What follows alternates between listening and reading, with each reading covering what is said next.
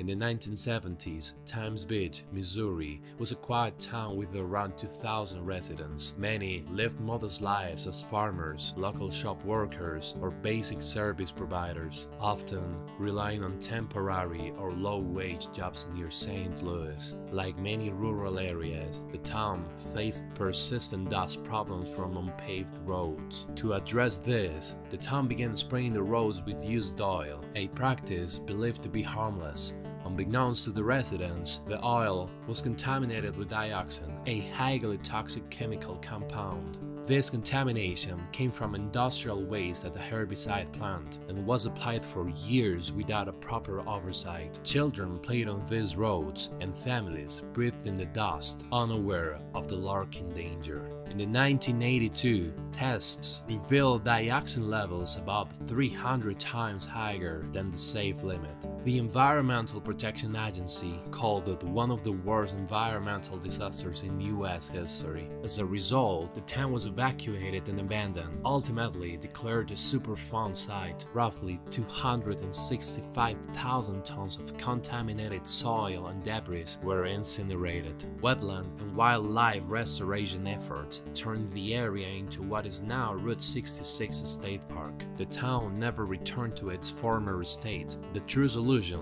lies in prevention, scientific understanding, and collective responsibility.